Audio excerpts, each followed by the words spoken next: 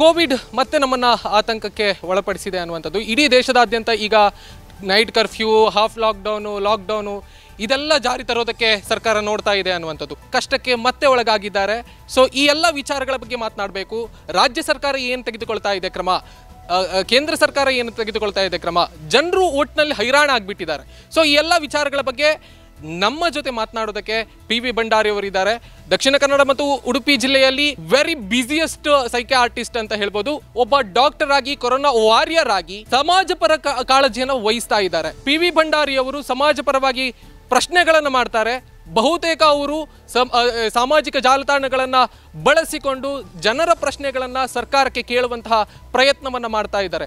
ಅದು ಒಂದಿಷ್ಟು ಸುದ್ದಿಗಳು ಮಾಡ್ತಾ ಇದೆ. ಅದರ ಬಗ್ಗೆ ಅವರನ್ನು ಮಾತನಾಡ್ಸೋಣ. ರಾಜ್ಯ ಸರ್ಕಾರ ಮಾಡ್ತಿರುವಂಥ ತಪ್ಪುಗಳು ಅಥವಾ ಕೇಂದ್ರ ಸರ್ಕಾರ ಮಾಡ್ತಿರೋ ತಪ್ಪುಗಳ ಬಗ್ಗೆ ಹೇಳಿಕೊಳ್ಳೋದಕ್ಕೆ ಅವರು ಹಿಂಜರಿತಾರೆ. ಆದರೆ ನೀವೊಬ್ಬ ಕೊರೋನಾ ವಾರಿಯರ್ ಆಗಿ ಅದನ್ನು ನೇರವಾಗಿ ನೀವು ಹೇಳ್ತಾ ಇದ್ದೀರಿ.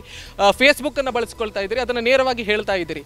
ಅಂಗಡಿ ಮುಚ್ಚುವಾಗ ಯಾವುದು ಎಸೆನ್ಷಿಯಲ್ಲು ಯಾವುದು ನಾನ್ ಎಸೆನ್ಷಿಯಲ್ಲು ಇದ್ರ ಬಗ್ಗೆ ಎಲ್ಲ ಭಾಳಷ್ಟು ಇದು ಮಾಡಿದ್ದಾರೆ.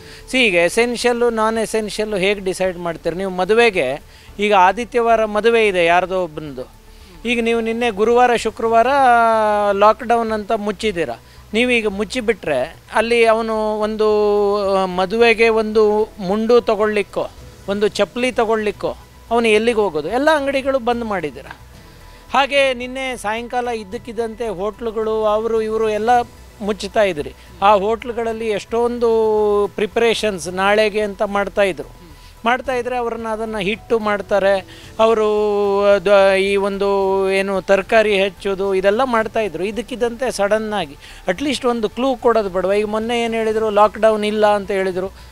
ಬರೀ ವಿಪಕ್ಷದ ನಾಯಕ ಕುಮಾರಸ್ವಾಮಿ ಅವರು ಮಾತ್ರ ಕೇಳ್ತಾ ಇದ್ದಾರೆ. ಲಾಕ್ಡೌನ್ ಅಂತ ಬೇರೆಯವರೆಲ್ಲ ವಿರೋಧಿಸ್ತಾ ಇದ್ದಾರೆ. ಹಾಗೆ ಹೀಗೆ ಅಂತ ಹೇಳಿದರು. ಈಗ ಆ್ಯಕ್ಚುಲಿ ಮಾಡಿರೋದೇನು ನೀವು? ಮಾಡಿರೋದೇನು? ಎಸೆನ್ಷಿಯಲ್ ಸರ್ವಿಸಸ್ ಮಾತ್ರ ಇಟ್ಟು ಉಳಿದದನ್ನೆಲ್ಲ ನಾವು ಕ್ಲೋಸ್ ಡೌನ್ ಮಾಡಿದ್ದೀವಿ ಅಂತ ಇದಕ್ಕಿದ್ದಂತೆ ಮುನ್ಸಿಪಾಲ್ಟಿಯವರು ಬಂದು ಎಲ್ಲ ಕಡೆ ಅನೌನ್ಸ್ಮೆಂಟ್ ಮಾಡಿದರು ಸ್ಟಾಪ್ ಮಾಡಿದರು. ಇದಕ್ಕೆ ಇದು, ಇದೆಲ್ಲ ಯೋಚನೆ ಮಾಡಿ ಮಾಡ್ಬೋದಲ್ಲ. ಒಂದು ದಿನದಲ್ಲಿ ಏನು ಕೊರೋನಾ ಓಡೋಗುತ್ತಾ? ಅಥವಾ ಈಗ ನೀವು ಇಷ್ಟೆಲ್ಲ ಮಾಡ್ತಾ ಇರುವವರು, ನೀವು ಈಗ ಇದು ಇಷ್ಟು ಜಾಸ್ತಿ ಆಗಲಿಕ್ಕೆ ಕಾರಣ ಏನು ಅಂತ ಯಾರಾದರೂ ನಮ್ಮ ರಾಜಕಾರಣಿಗಳ ಆತ್ಮಾವಲೋಕನ ಮಾಡ್ಕೊಂಡಿದ್ದೀರಾ? ಈಗ ಇಲೆಕ್ಷನ್ಸ್ ನಡೀತು. ಇಲೆಕ್ಷನ್ಸ್ನಲ್ಲಿ ಈಗ ಇಲೆಕ್ಷನ್ಸ್ ಆದ ಕೂಡಲೇ ನೋಡಿ ಎಲ್ಲರೂ ಪಾಸಿಟಿವ್ ಆಗಿದ್ದಾರೆ. ಎಲ್ಲ ಬಂದವರು ನಾನು ಹೆಸರು ಹೇಳೋದು ಬೇಡ ನಿಮಗೆ ಗೊತ್ತದೆ. ನಮ್ಮ ಮುಖ್ಯಮಂತ್ರಿಗಳಿಂದ ಹಿಡಿದು ವಿಪಕ್ಷದ ನಾಯಕರಿರ್ಬೋದು ಎಲ್ಲ ಕೂಡ ಪಾಸಿಟಿವ್ ಆಗಿದ್ದೀರಾ?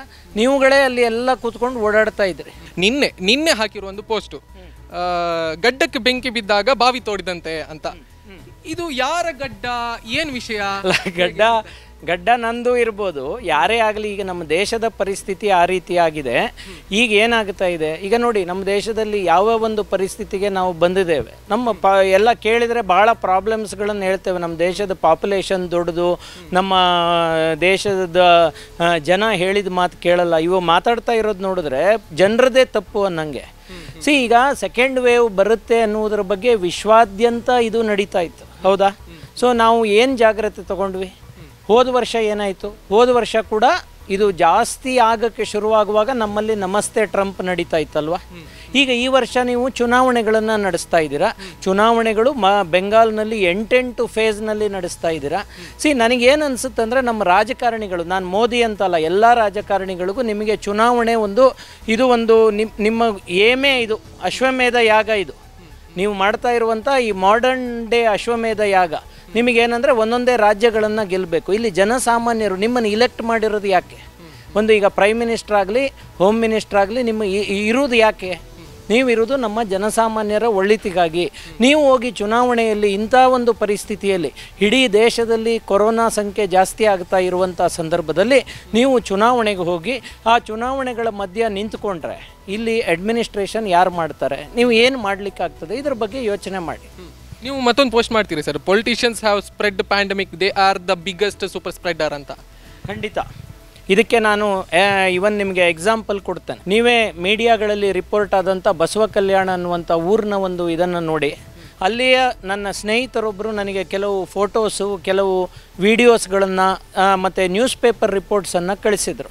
ಅಲ್ಲಿ ಏನಾಗಿದೆ? ಈ ಚುನಾವಣೆಯ ಹೆಸರಿನಲ್ಲಿ ನಮ್ಮ ರಾಜಕಾರಣಿಗಳು ಅಲ್ಲಿ ಹೋಗಿ, ಅವರೆಲ್ಲ ದೊಡ್ಡ ದೊಡ್ಡವರೆಲ್ಲ ಅಲ್ಲೇ ಇದ್ದುಕೊಂಡು ಮಾಸ್ಕ್ ಇಲ್ಲದೆ ಓಡಾಡಿ, ಅದರಿಂದಾಗಿ ಏನಾಗಿದೆ, ಈ ಒಂದು ಇದು ಸ್ಪ್ರೆಡ್ ಆಗ್ತಾ ಇದೆ. ಸ್ಪ್ರೆಡ್ ಆಗಿದೆ. ಆಮೇಲೆ ಇವರೆಲ್ಲ ಬೆಂಗಳೂರಿಗೆ ಬಂದು ಇವರೆಲ್ಲ ಪ್ರೈವೇಟ್ ಆಸ್ಪತ್ರೆಗಳಲ್ಲಿ ಅಡ್ಮಿಟ್ ಆಗಿದ್ದಾರೆ. ಬಸವ ಕಲ್ಯಾಣದ ಜನರಿಗೆ ಎಷ್ಟೋ ಜನರಿಗೆ ಬೆಡ್ ಸಿಕ್ಕಿಲ್ಲ, ಎಷ್ಟೋ ಜನರಿಗೆ ಡಾಕ್ಟ್ರೇ ಸಿಕ್ಕಿಲ್ಲ ನೋಡಲಿಕ್ಕೆ ರಸ್ತೆ ಮೇಲೆ. ಇದು ನಾನು ಹೇಳ್ತಾ ಇರೋದಲ್ಲ, ಪೇಪರ್ನಲ್ಲಿ ಬಂದಿರೋದು, ಟಿ ವಿಯಲ್ಲಿ ಬಂದಿರೋದು. ಇದೆಲ್ಲ ಇದಕ್ಕೆ ಕಾರಣ ನಮ್ಮ ರಾಜಕಾರಣಿಗಳು. ನಾನು ಮತ್ತೆ ಹೇಳ್ತೇನೆ, ನಮ್ಮ ಈ ಬೇಜವಾಬ್ದಾರಿಯುತ ರಾಜಕಾರಣಿಗಳು, ಅವರು ಚುನಾವಣೆಯನ್ನು ಮಾತ್ರ ಮನಸ್ಸಿನಲ್ಲಿಟ್ಕೊಂಡು ಅಲ್ಲಲ್ಲಿ ಹೋಗಿ ಚುನಾವಣಾ ಪ್ರಚಾರವನ್ನು ಮಾಡಿ ತಮ್ಮ ಒಂದು ಒಡ್ಡೋಲಗವನ್ನು ಕರ್ಕೊಂಡು ಹೋಗಿ, ಅಲ್ಲಿ ಏನು ಜನಸಾಮಾನ್ಯರ ಮಧ್ಯದಲ್ಲಿ ಅವರು ಮಿಕ್ಸ್ ಆಗುವಾಗ ಇವರಿಂದಲೇ ಅದು ಹಬ್ಬಿರೋದು. ಇದರ ಬಗ್ಗೆ ಯಾವುದೇ ಸಂದೇಹ ಬೇಡ. ಬಹಳಷ್ಟು ಕಡೆ ಅಟ್ಲೀಸ್ಟ್ ಉತ್ತರ ಕರ್ನಾಟಕ ಎಲ್ಲೆಲ್ಲಿ ಚುನಾವಣೆಗಳಾಗಿದೆ. ಸಿ, ಅಲ್ಲಿ ನೀವು ಹೇಳ್ಬೋದು, ಅಲ್ಲಿ ಮಾತ್ರ ಅದು ರಿಸ್ಟ್ರಿಕ್ಟ್ ಆಗಲ್ಲ. ಬಸವ ಕಲ್ಯಾಣದಿಂದ ಉಡುಪಿಗೆ ಬರ್ತಾರೆ. ಬಸವ ಕಲ್ಯಾಣದಿಂದ ಬೆಂಗಳೂರಿಗೆ ಹೋಗ್ತಾರೆ. ಬಸವ ಕಲ್ಯಾಣದಿಂದ ಹಾಸನಕ್ಕೆ ಹೋಗ್ತಾರೆ. ಎಲ್ಲ ಕಡೆ ಜನ ಆ ಕಡೆ, ಈ ಕಡೆ ಈ ಕಡೆ, ಆ ಕಡೆ ಓಡಾಡ್ತಾರೆ. ಅವಾಗ ಏನಾಗುತ್ತೆ? ಇದು ಸ್ಪ್ರೆಡ್ ಆಗುತ್ತೆ. ಸೊ ಈಗ ನೀವು ಎಚ್ಚೆತ್ಕೊಂಡು, ಈಗ ಈ ಕೇಸಸ್ ಜಾಸ್ತಿ ಆದಮೇಲೆ ಈಗ ಏನು ಮಾಡ್ತಿದ್ದೀರಾ?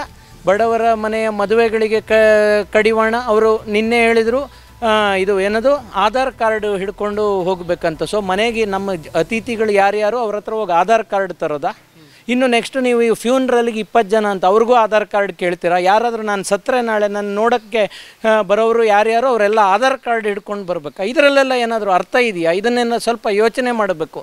ಏನು ಸರ್ಕಾರ ಸುಮ್ಮನೆ ಇದು ಏನಾಗಿದೆ ಅಂದರೆ ಅಂದರ್ ನಗರಿ ಚೌಪಟ್ ರಾಜ ಅಂತ ಹೇಳ್ತಾರಲ್ಲ, ಆ ಥರದ ಒಂದು ಪರಿಸ್ಥಿತಿಯಲ್ಲಿ ನಾವಿದ್ದೇವೆ ಅಂತ ನನಗನ್ಸುತ್ತೆ. ಇಡೀ ಜಗವನ್ನೇ ಅಂಗೈಲಿ ನೋಡಿ ನೋಡಿ ಜನಮನ